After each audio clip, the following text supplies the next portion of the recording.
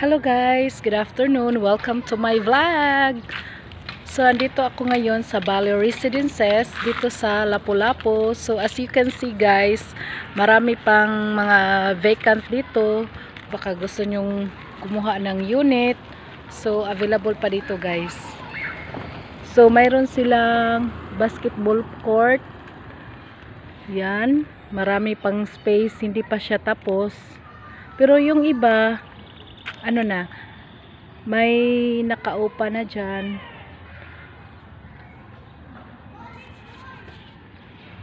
May nakatira na, 'di ba si guys? Ang lapad guys, no. Ito yung Bali Residences sa Lapu-Lapu guys. So ito tour kita ngayon dito. So dito rin naka ah, may unit din dito yung brother ko. Kumuha sila ng isang unit dito guys. So tingnan nyo guys. Oh, ito yung basketball court. So, mayroon silang basketball court.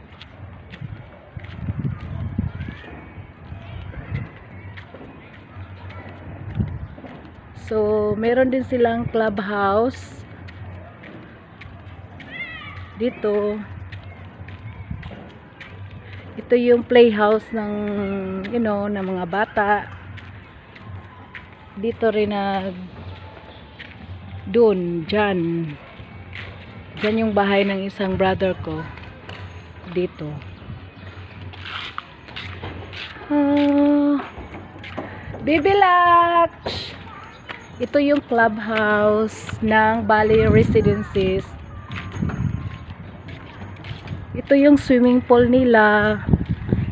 Ito kung saan naliligo yung mga yung nakatira, nakatira dito guys. Ayan. May swimming pool. Ito yung may ito yung clubhouse. Hello Lakshmi! Ito yung pamangkin ko, si Lakshmi. Ito yung anak ng kapatid ko na nakatira dito sa Bali Residences sa Lapu-Lapu. May isang unit sila doon sa kabila, sa likod. Diyan. Hello Lakshmi! What are you doing? Are you playing baby Laksh? So dyan, makikita nyo may isang swimming pool.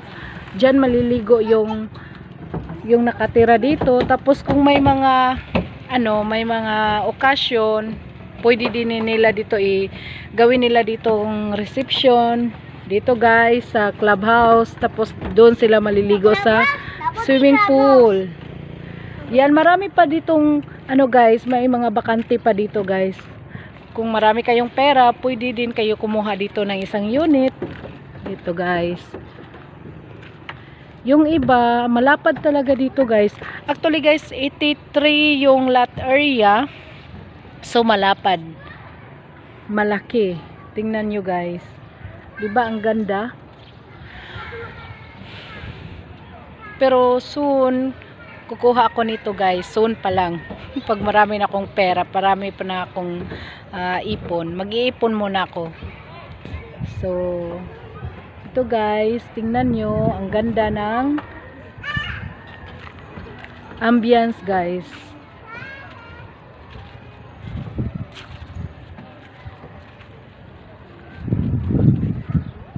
Hello Karel, ito pala yung ano ko, yung daughter ko, my one and only princess, my one and only daughter, Karel Jane.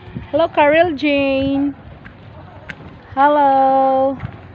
So punta dito, punta naman tayo ngayon dito sa ah, swimming pool. May swimming pool dito guys, yung sinabi ko kanina. Maganda yung swimming pool dito, pwede kayo dito maliligo. Yung ano, yung nakatira dito guys sa Bali Residences sa Lapu-Lapu, pwede sila dito maligo. See? Ganda. Ang lapad. So, dito sila mag ano, maliligo kung gusto nila maligo. Ayan. Diba? Maganda. Oh, hello. maligo ka? off, pag off duty mo na lang, maligo ka. Oh, 'di ba? Maganda. Oh. Maganda siya, 'di ba? Oh. Ito yung clubhouse. Yung mga anak ng ano dito, mga anak ng nakatira dito, pwede din sila dito mag ano, mag-play. Like ng pamangkin ko at saka yung friends niya, Lakshmi. Hi. Hi. Oh, ito yung pamangkin ko na ano, Englishera.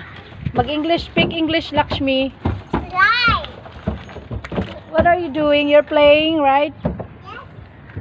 So, kita nyo guys, ang ganda talaga ng view guys. Ang laki talaga. Hindi ko lang alam kung ano yung developer dito. Basta, yung alam ko lang is yung uh, Bali Residences dito sa Lapu-Lapu. Ang laki-laki, ang lapad guys, di ba? So, yung kapatid ko na ano, police, saka yung asawa niya na nagtatrabaho dito sa ano G Park Hotel, yung malapit lang dito, kumuha sila ng unit doon sa kabila. Doon. Yun, sa likod niyan.